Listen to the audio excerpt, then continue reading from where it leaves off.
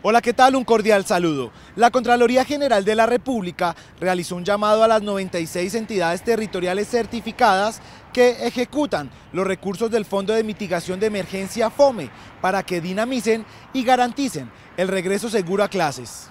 En ese sentido debemos informar a la opinión pública que el FOME ha asignado 627 mil millones de pesos en el año 2020 y en el año 2021, de los cuales a la fecha faltan todavía por ejecutar y apropiar cerca de 18.600 millones de pesos. Demoras en la ejecución de los recursos que afectarían a más de 2 millones de estudiantes que no estarían beneficiándose de la presencialidad estudiantil.